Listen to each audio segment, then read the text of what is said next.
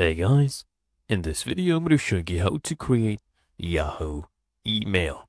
Now, just search on Google Yahoo, and then you will see Yahoo Mail. Just go ahead and click on that. And then all you need to do here is click on create an account, right?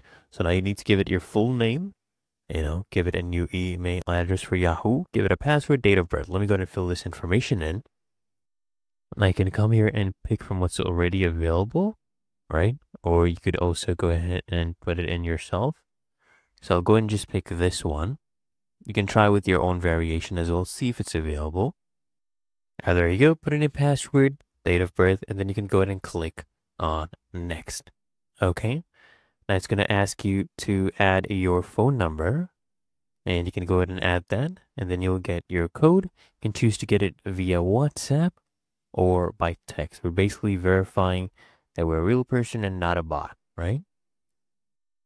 There you go. I verified my phone number. Now you can go ahead and, you know, do this if you want, but I'll click on not now. I don't need a fingerprint or code. So and that's basically your two-factor authentication and also, you know, getting your other means to log in. Now here we go. Our email has been successfully created and now we can use this email address to sign in combined with our password.